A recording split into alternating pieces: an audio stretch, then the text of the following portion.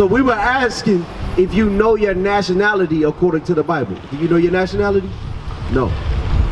Okay, so most of us would say that we are African American or black or Negro or whatever, right? But that's not the proper nationality that we was given, right? Because what language did we speak before the transatlantic slave trade? That's the big that's a big question, right? What type of food did we eat before the transatlantic slave trade? Did we have dietary laws? Watch this. Let me show you something. Give me that uh, Jeremiah chapter 17. I'm going to show you something in the Bible. Then we're going to prove to you what your nationality is. All right? If you walk up here, you will see your, your nationality on this sign. Read. Jeremiah chapter 17, verse 4. Read. And thou, even thyself, shalt discontinue from thine inheritance that I gave thee. So God said, you so-called blacks, Hispanics, Native American Indians, you're going to discontinue from your true heritage that I gave thee. Now, when I said blacks, Hispanics, and Native Americans, your eyebrows kind of raised up a little bit. We all made up one nation at one point in time, okay? We were one nation at one point in time. Uh, you have the northern kingdom of Israel and the southern kingdom of Israel, right? Most of the, the northern kingdom tribes are your Hispanics and Native American Indians, right? They came over here and they went into slavery 300 years before the southern kingdom of Israel, which is the, the, the so-called Negroes, blacks, Jamaicans, and Haitians, okay? But we have the same bloodline in us. We literally have the same blood. We come from the same forefathers, okay? So keep that in the back of your mind. Read and thou, even thyself, uh -huh. shalt discontinue from thine inheritance that I gave thee, uh -huh. and I will cause thee to serve thine enemies. Okay, so remember what I said about the so-called Hispanics and Native Americans going into slavery 300 years before the so-called black man, right? But guess what? We the same nation of people. All right, so the big question, go back to Deuteronomy chapter 28, verse 15. How do we know that we the Israelites? Uh, what's your father? Is he a so-called African American? He Native American, that means you come from the tribe of Gad. That's, right. that's on this sign up here, all right? The, the Native American Indians come from descend from the tribe of Gad. That's a mighty nation of people, all right? Read that. Deuteronomy chapter 28 and verse 15. Is your mom from the tribe of Gad as well? Or just your father? Um, she's African American and Native American. Okay, what about her father? She don't know. She don't know? Okay, all praises. Read that. It shall come to pass, if thou wilt not hearken unto the voice of the Lord thy God, to observe to do all his commandments and his statutes, which I command thee this day, that all these curses shall come upon thee and overtake thee. Okay, so you as a so-called Native American Indian, God said, listen, if you don't listen to what I ask you to do, all these curses will come upon thee and overtake thee, right? Now, I want you to really think on your history on your family history, all right? Watch this, read. Cursed shall thou be in the city. How were the so-called Native Americans cursed in the city? They had to be removed from their homes. They, they were removed from their homes. They were, uh, what, what do you call that, besieged? They were killed, raped, robbed, murdered. America belonged to the Native American Indians. Right. Now they have portions of this uh, of this land just small portions of this land. Do you understand what I'm saying? That's God's curse according to the Bible, right? So the Native Americans were cursed in the city. Read. And cursed shall thou be in the field. How were the Native Americans cursed in the field? That's right. They were driven out of their own fields. Their corn, everything was burned up. Their bison was killed. You understand that?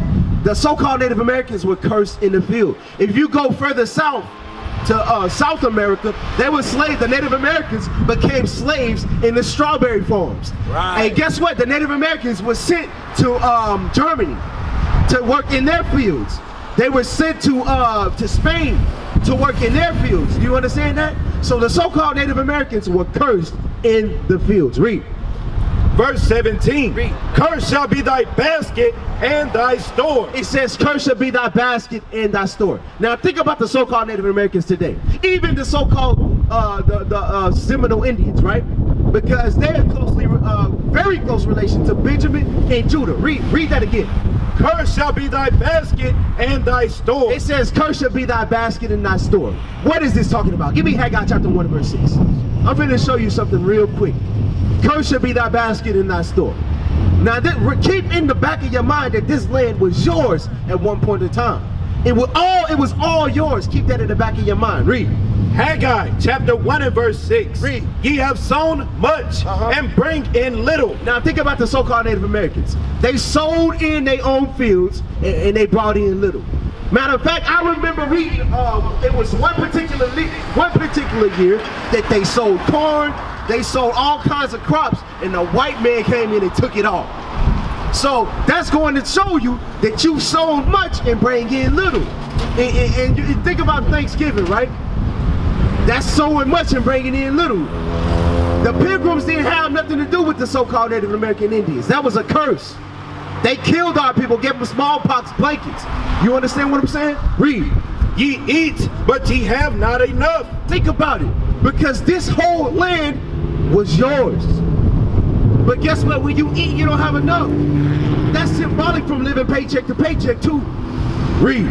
Ye drink, but ye are not filled with drink. Now think about it. Every lake that belonged to this country, every river that belonged to this country, do you pay a water bill? But this land was rightfully yours. That is a curse according to the Bible. You see what I'm saying, sister? Hey, this is your history right here. Read that. Ye clothe you, but there is none warm and he that earneth wages, earneth wages to put it into a bag with holes. That's living paycheck to paycheck. Even though this country belonged to you, the resources belong to you, the water belonged to you. You understand that? Go back to Deuteronomy chapter 28. Oh, I'm sorry, read that. Deuteronomy chapter 28, verse 33. The fruit of thy land and all thy labors shall a nation which thou knowest not eat up. So what was that nation that came in and took the, the conquistadors that came in and took over? Exactly. That was a nation that we did not know. But they came right over and took our people's property, took our people's land. They took our people. Read. And thou shalt be only oppressed and crushed always. So we were oppressed and crushed always. See, my grandmother, uh, she she was a Cherokee, and I got all we got to read about all of this. You understand what I'm saying? They were crushed and oppressed, and still crushed and oppressed today. Think about the pipeline that, that the so-called white man is trying to run through their land right now. You understand that, sister? An oil pipeline. This land, this reservation was supposed to be yours, but you even cursed with a curse. Double cursed. Because that land was supposed to be our land, right? But they took that land too. We gonna run a pipeline oil through this land to give more jobs to the so-called white man. Read that. Verse 37, Read. and thou shalt become an astonishment, uh -huh. a proverb and a byword. Now it says thou shalt become an astonishment, a proverb and a byword. Let's look at the word astonishment. The word astonishment means a very shocking thing, right? Now, you were so-called Gadite, but you resonate with the Judites, right? What's so astonishing about our Native American women? Our Judite women, or black women, and Hispanic women? What's that? I can't hear you. Hair and skin. Hair and skin, right? That's a shocking thing, right? I'm gonna I'm go even further. Why did we put another nation's hair in our head? Right.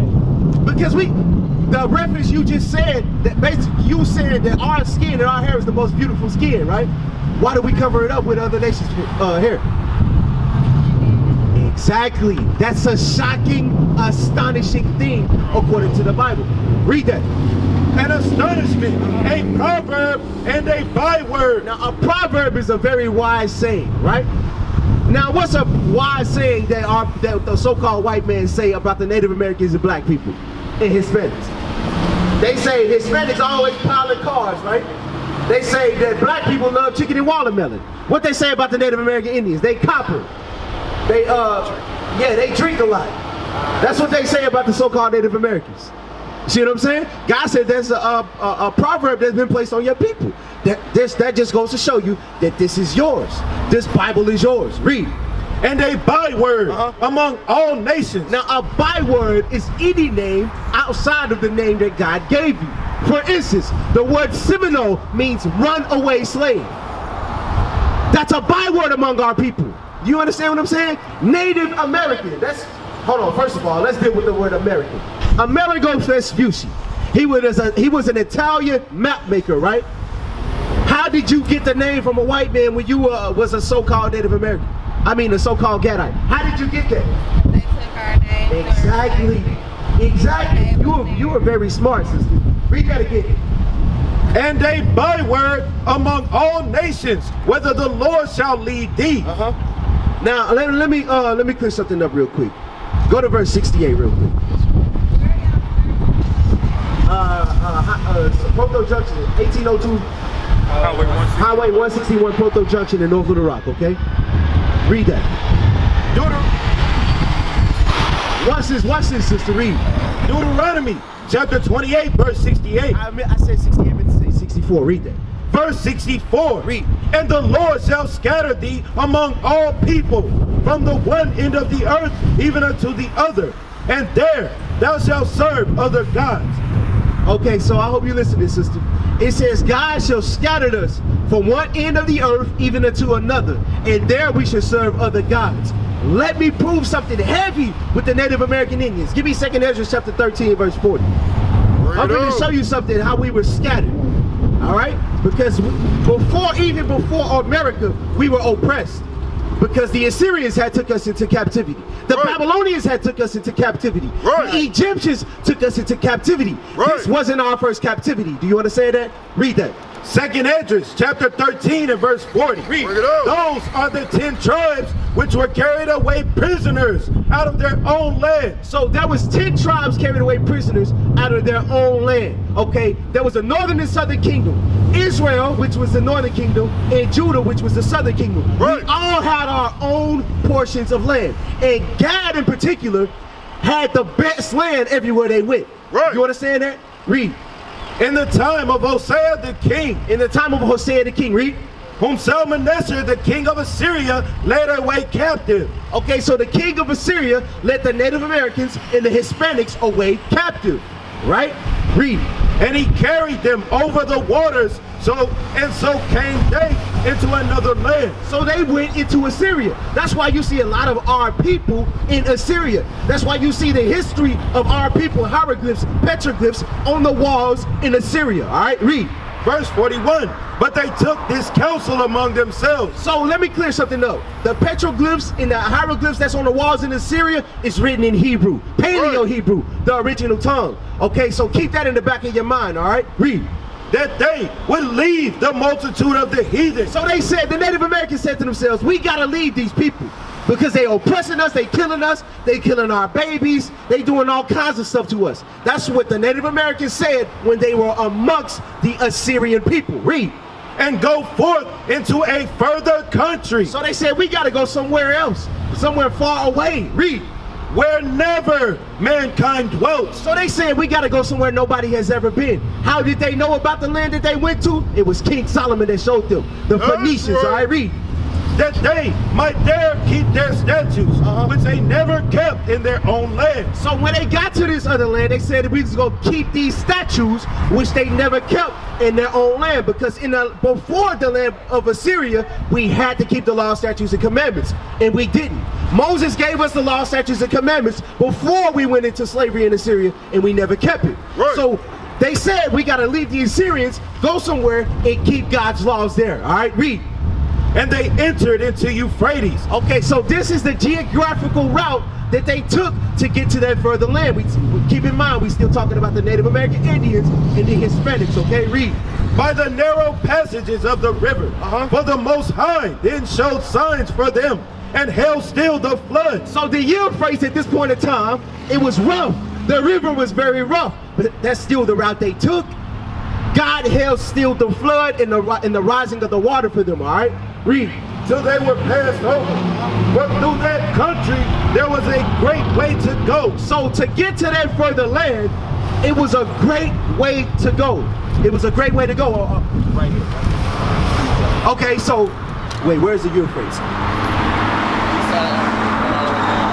Right, it's the east side of Africa going all the way along the coast. All right, it's this uh this river right here. So they right near the Nile. They took the river, the Euphrates. All right, they didn't go by by sea. They went on the river. All right, read. For through that country there was a great way to go. So it, it, it took a long time for them to get to this further country. All right, read. namely of a year and a half. So the Native Americans, it took a year and a half by boat to get to where they was going. Right. Right? They had ships. Uh, King Solomon had a navy of ships that was on reserve. All right, read. And the same region is called Arsareth.